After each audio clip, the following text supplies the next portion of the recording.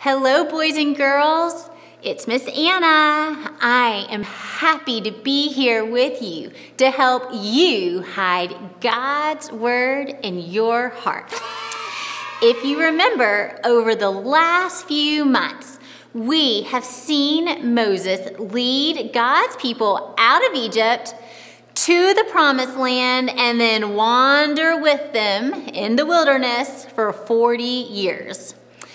God has chosen Joshua to replace Moses as the leader of his people. It is now time for the people to enter the promised land. Moses tells Joshua, It is the Lord who goes before you. He will be with you. He will not leave you or forsake you. Do not fear or be dismayed. Joshua is taking over a big job, but Moses reminds him that God is the one leading the way.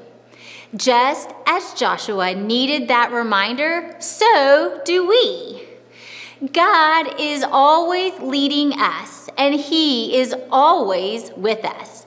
We do not have to be afraid.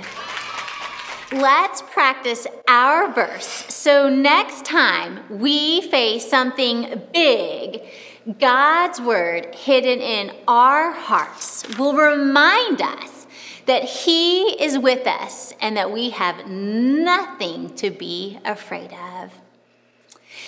It is the Lord who goes before you.